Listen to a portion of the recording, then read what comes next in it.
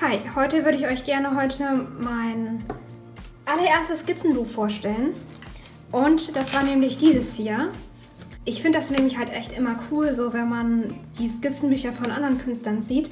Und das inspiriert mich halt auch. Und deswegen möchte ich euch heute auch gerne mal meins vorstellen. Vielleicht kann ich ja auch dadurch andere Leute inspirieren. Ich kann euch leider jetzt nicht mehr sagen, äh, was das genau für ein Buch ist, weil es schon zu lange her ist, dass ich es gekauft habe. Ich weiß nur noch, dass ich es bei Karstadt ersteigert habe. Ich habe ähm, das Skizzenbuch verwendet vom 27.05.2016 bis 2018. Also schon ziemlich lange eigentlich. Das ist die erste Seite. Ich weiß noch, dass ich das aus einem ähm, Tattoo-Heft habe, wo so eine Ausstellung aus Tattoos war. Ja, aber kann ich jetzt auch nicht mehr viel zu sagen. Genau, also zu manchen Bildern kann ich halt auch nicht so viel sagen. Da habe ich einfach so versucht, Blumen zu üben. Aber heutzutage würde ich das auch komplett anders machen. Wenn ihr sehen wollt, was ich ansonsten mache, dann checkt hier mal meinen Instagram-Kanal aus. Ja, das sind halt immer solche Aufwärmübungen, die ich anfangs immer gemacht habe. Also manchmal, ich weiß nicht, ob ihr das kennt, wenn ihr anfängt zu zeichnen, dann ähm, ist das Handgelenk und die, die Finger manchmal so ein bisschen steif. Und um das halt aufzulockern, dann macht man halt immer diese 8. Und dann wird man halt im Handgelenk ein bisschen lockerer. Genau. Genau, Handstudien. Ich weiß noch, als ich das gezeichnet habe, da habe ich auf die Bahn gewartet, als ich nach Hause fahren wollte von der Schule. Und da kam so ein Typ zu mir und meinte so, oh ja, das finde ich total toll. Und ich weiß nicht, aber irgendwie war diese Begegnung mit diesem Typen mega creepy. Und seitdem erinnert mich das daran. Ja. Und das hat meine Freundin gezeichnet. Sie meinte so, ja, das ist voll einfach so Kunst und so, gib mir mal dein Skizzenbuch, ich zeig dir, wie das richtig geht.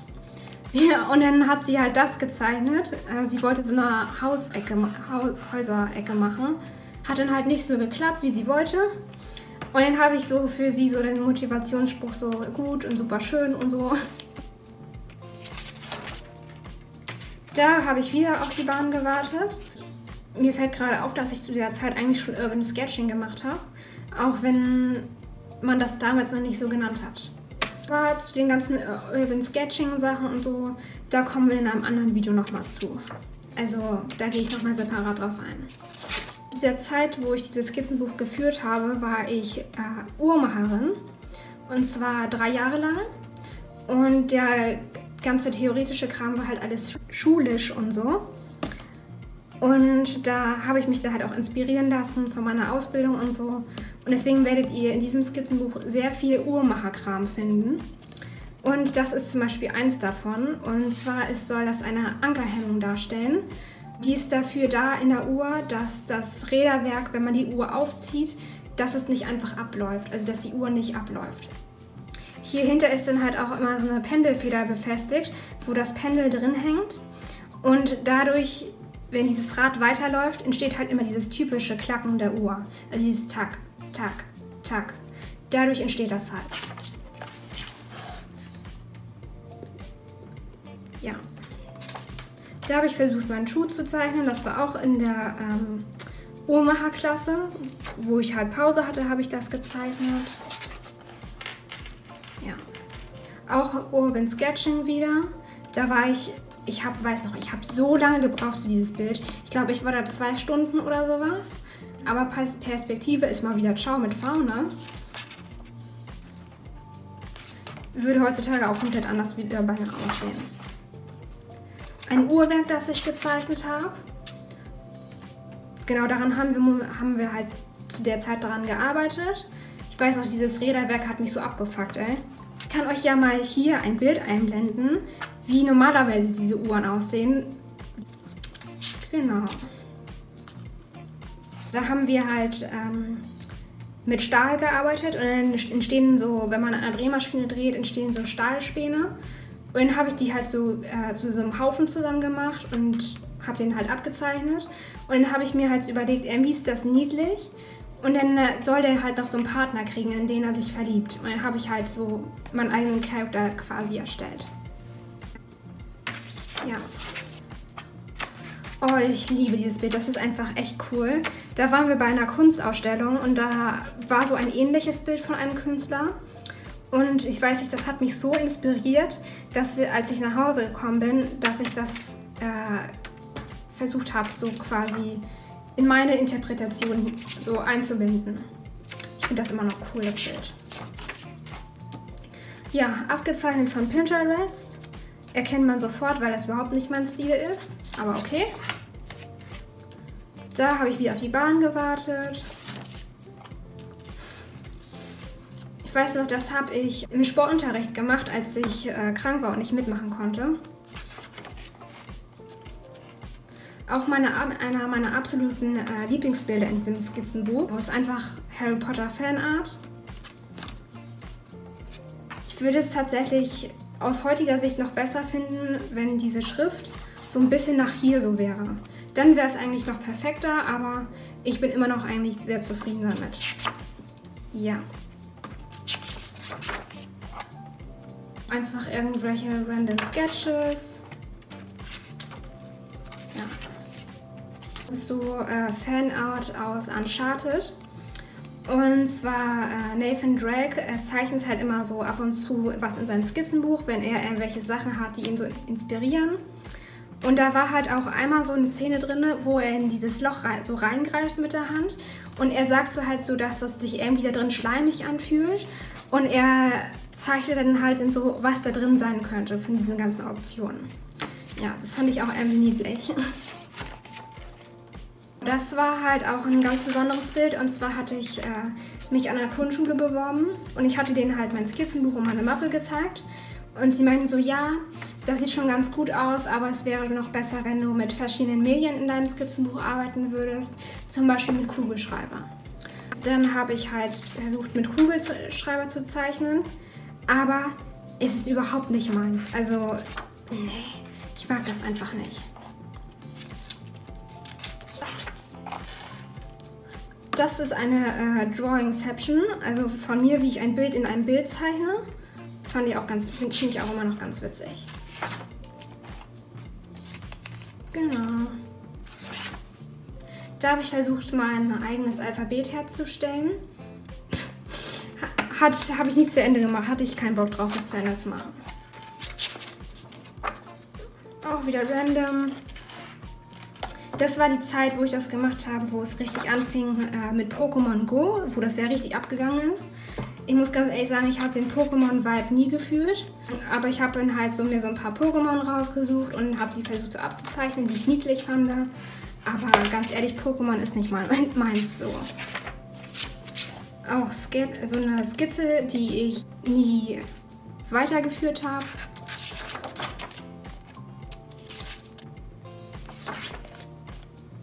mein eigenes Character Design von ähm, Obst, was ich gemacht habe.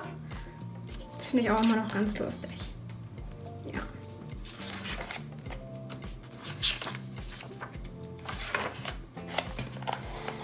Das weiß ich auch noch, dass ich, wir sind irgendwie unterwegs gewesen in irgendeinem Hotel und da habe ich das abends gezeichnet und ich habe da so viel rumradiert, dass überall in meinem ganzen Bett ähm, diese Radiergummischnipsel die, diese Radiergummifussel verteilt waren. Ja, das war nicht so geil. Genau, das habe ich auch wieder im Hotelzimmer irgendwo gezeichnet. Also manchmal weiß ich halt auch nicht mehr genau, wo, in welcher Location ich das gezeichnet habe. Aber ich weiß noch, dass ich da irgendwo unterwegs war. Und solche Gänse und so finde ich halt auch irgendwie niedlich. Und genau, habe ich so ein bisschen versucht, das so darzustellen. Und hier, ich fand sie guckt so ein bisschen äh, schnippisch. Und dann habe ich hier halt oben drüber geschrieben, When you kill me, you burn in hell. das fand ich auch ganz witzig irgendwie.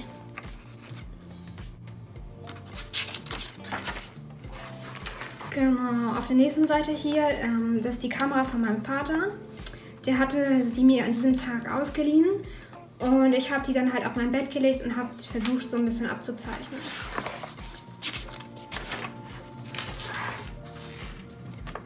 Das war verkackt, aber richtig.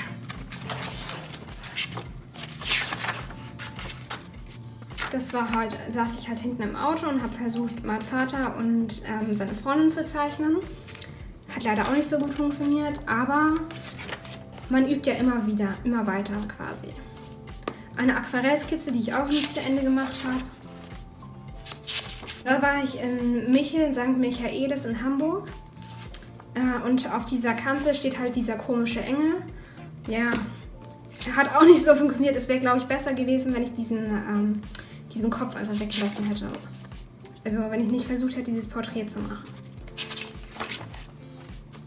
Da habe ich angefangen, als Aushilfe bei Karstadt zu arbeiten. Und das war in meiner Pause, die ich hatte. Da bin ich ganz nach oben gefahren mit dieser Rolltreppe. Und hier ist halt, ähm, ja, man kann schon sagen, so eine Fressmeile. Und ich habe mich dann halt hier so hingesetzt, habe so versucht, so ein bisschen zu zeichnen. Aber ich war zu diesem Zeitpunkt leider schon von der Arbeit so erschöpft, dass, ja, dass es nicht so geklappt hat, wie ich wollte. Das war auch in meiner Pause. Diese Uhr habe ich von einem Karstadt mit, oder ich habe bei Karstadt gearbeitet, aber ich war eigentlich bei, ähm, bei äh, habe ich gearbeitet. Das ist halt so eine Firma, wo man halt so Servicearbeiten für Uhren macht. Habe ich diese Uhr äh, vom Mitarbeiter geschenkt gekriegt, weil ein Kunde wollte sie nicht mehr haben und hat sie halt bei uns einfach liegen lassen, obwohl er sie zu uns gebracht hat. Und sie hat auch nicht mehr funktioniert, wenn man sie nicht reparieren konnte. Und ja, dann habe ich sie einfach geschenkt gekriegt. Ja, was soll ich dazu sagen? Also es war ein äh, Handy-Mobile-Game, was ich gespielt habe. Sword of Chaos hieß das. Und ich habe das halt echt total gerne gespielt. Und dann kam halt dieser Moment, wo, wo ich dafür bezahlt habe für das Spiel. Und dann auf einmal wurde ich aus dem Spiel rausgekickt und ähm, ja, mein ganzer Spielspanne stand einfach alles gelöscht. Und ich war sowas von hart depressiv, ähm, dass ich gesagt habe, ja, fuck off, ey. Genau. Das waren halt die ganzen, so ein paar Charakter aus dem Spiel. Schaut euch diese Blume an, ist die nicht niedlich? Ich finde die so süß. Süß. Genau, das habe ich einfach aus meinem Kopf gemacht. Ja, das habe ich wieder im Zug gemacht. Und hier habe ich äh, zu Weihnachten ein, ein Kunstbuchgeschenk gekriegt. Und da waren halt so Beispiele drin, wie man Pflanzen und Bäume vereinfachen kann. Und das hat mich halt so inspiriert, dass ich die halt hier so gezeichnet habe. Und dann halt noch dazu geschrieben habe, was das für ein Baum ist. Habe ich halt so versucht, verschiedene Wolkenarten äh, rauszusuchen. Das finde ich ist auch noch einer meiner Lieblingsbilder hier drin. Ich finde die so schön. Auf Fingerhut. Oh mein Gott, Leute, dieses Bild, das war ein absoluter Fail. Das war ein richtiger Fail. Dieses Bild war einfach so der Mega-Fail, weil ähm, ich habe hier versucht, den Eisdrachen von äh, Yu-Gi-Oh! zu zeichnen. Also Yu-Gi-Oh! bin ich halt auch überhaupt nicht so ein Thema. Aber ich hatte das irgendwo gesehen und dachte so, boah, das wäre mega cool. Ja, es hat leider nicht so funktioniert, wie ich wollte. Ich kann euch ja mal ein Bild einblenden, äh, wie der ursprünglich aussah.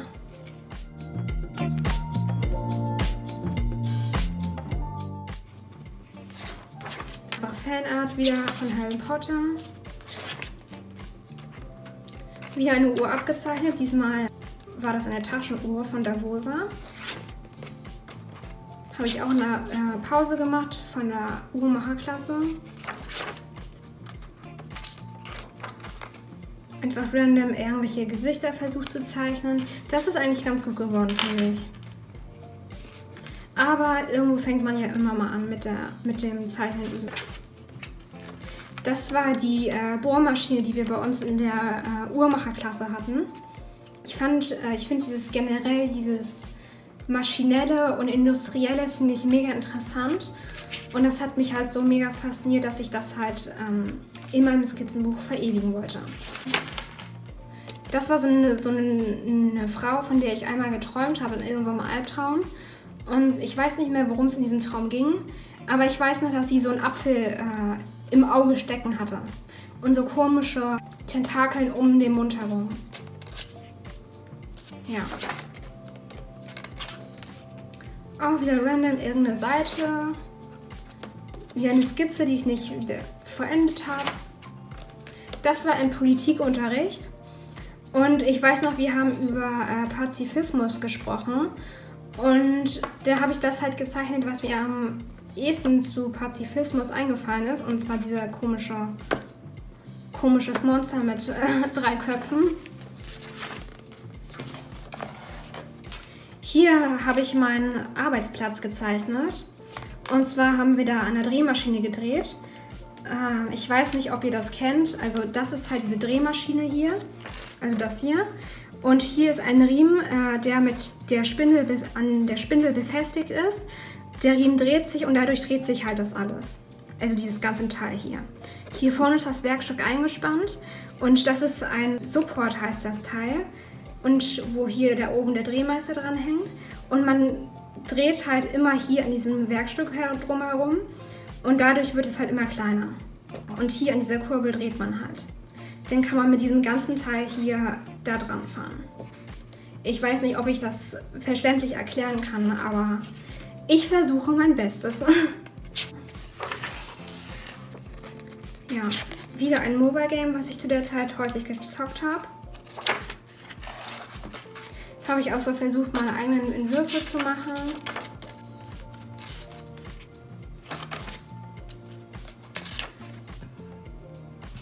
Das finde find ich eigentlich auch ganz gut hier.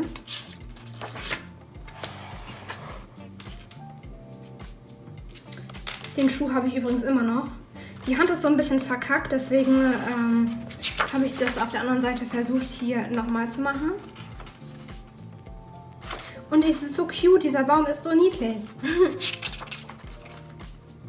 ja. Das war wir im Politikunterricht. Da sollten wir eine Karikatur von einem politischen oder aktivistischen ähm, darstellen und ich habe mir halt dieses Thema Atomkraft ausgesucht und wo der Müll halt hingebracht wird am Ende. Genau, und dann sieht man halt, dass dieses Radioaktive halt ausläuft und dieser Baum äh, denkt sich so, scheiße. Und verliert halt die ganzen Blätter. Genau. Das ist eine der wenigen Male, wo ich wirklich was aus meinem Skizzenbuch rausgerissen habe. Also, ansonsten habe ich das nie gemacht, aber dort habe ich es gemacht. In diesem Skizzenbuch habe ich tatsächlich Seiten rausgerissen. Und das war halt auch sowas, was ich auch wieder in der Pause gemacht habe.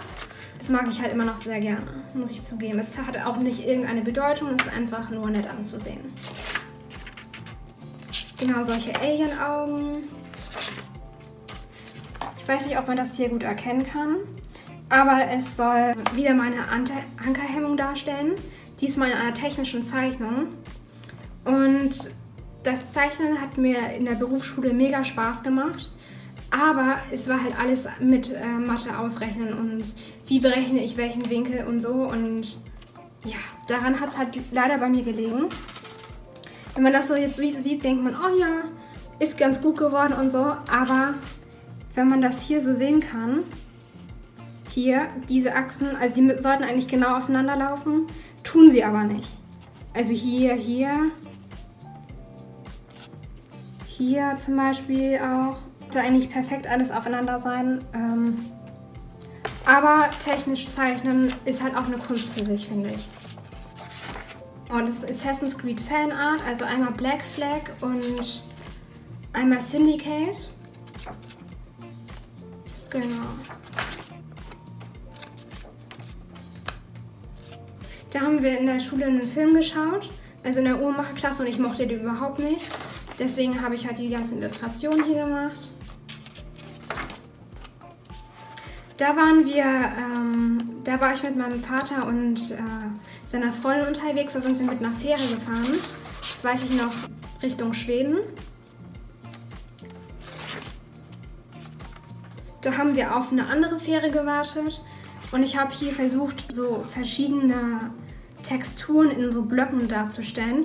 Das finde ich eigentlich ganz cool. Die Idee hätte ich auch noch mal Lust, das noch mal zu machen. Genau, das war auch auf einer Fähre, mit der wir gefahren sind.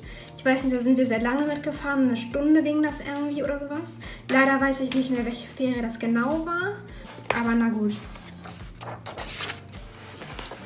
Diese Skizze würde ich überall wiedererkennen.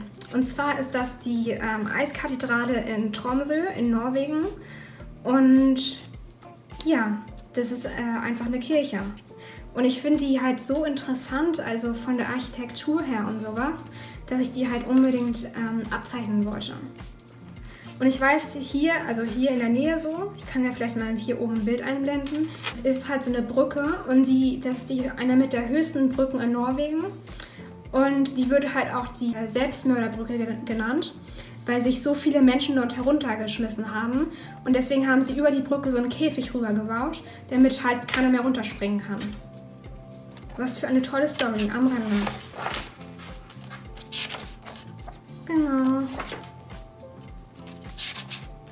Das fühle ich halt auch noch hart, ne? Das finde ich auch echt toll.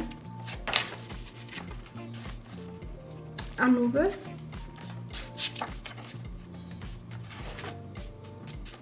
Ich weiß nicht, was ich hiermit bezwecken wollte, aber okay. Das finde ich eigentlich auch noch ganz gut. Also wie gesagt, äh, mit so, so Kugelschreiber zu zeichnen ist überhaupt nicht meins. Das liegt mir halt einfach nicht. Genau, habe ich Porträts geübt, einfach so random. Sukrobos. Oh ja, da weiß ich auch noch, an diesem Tag habe ich mich mega down gefühlt. Und dann habe ich halt, halt ihn so traurig gezeichnet und so, auch mit einem zerbrochenen Herzen und sowas. Ja.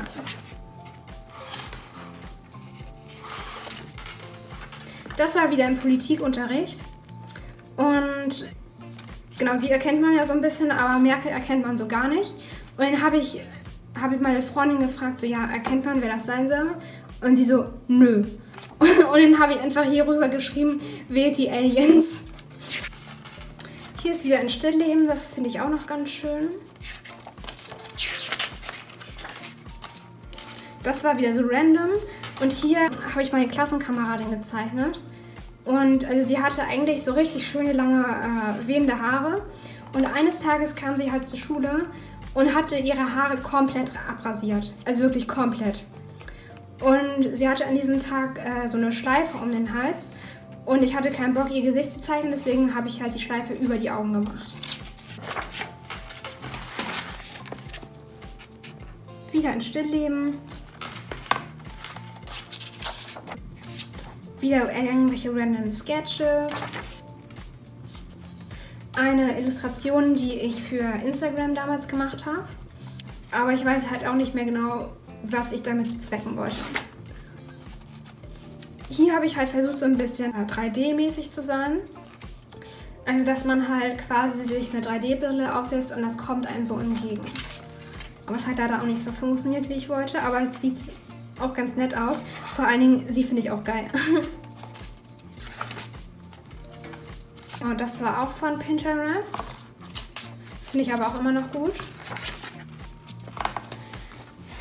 Und das waren Tattoo-Ideen, die ich für einen Bekannten machen sollte. Und es hat mich so ein bisschen deprimiert, ähm, dass er quasi gesagt hat, ja, mach das mal bitte für mich. Und dann habe ich ihm das geschickt und dann hat er sich nie wieder bei mir gemeldet. Das fand ich so ein bisschen schade. Und deswegen, das ist auch der Grund, warum ich äh, keine Tattoos mehr für umsonst designe. Das ist halt echt. Ja, hätte ich mir auch die Zeit auch sparen können, ehrlich gesagt. Genau, nochmal Uhrwerke. Die fand ich auch so mega schön, diese Uhr. Random in Auge. Hier habe ich wieder eine Seite rausgerissen. Ich weiß nicht, was da los war mit mir. Aber eigentlich ist das ein absolutes No-Go, finde ich. Also egal wie hässlich die Seiten werden und so, man kann sich halt immer noch so ein bisschen zurück da erinnern, wie man halt früher gestanden hat wenn man diese Seiten einfach drin lässt. Deswegen würde ich es keinem raten, Seiten aus dem Skizzenbuch rauszureißen. Genau. Und hier, das habe ich auch, auch häufig gemacht in meinen Skizzenbüchern, dass ich Eintrittskarten hier am Ende ein, reingeklebt habe. Das war es mit meinem Skizzenbuch. Ich hoffe, es hat euch gefallen. Es werden auf jeden Fall im Nachhinein noch ein paar mehr Skizzenbücher kommen. Ähm, denn ich habe sehr viele.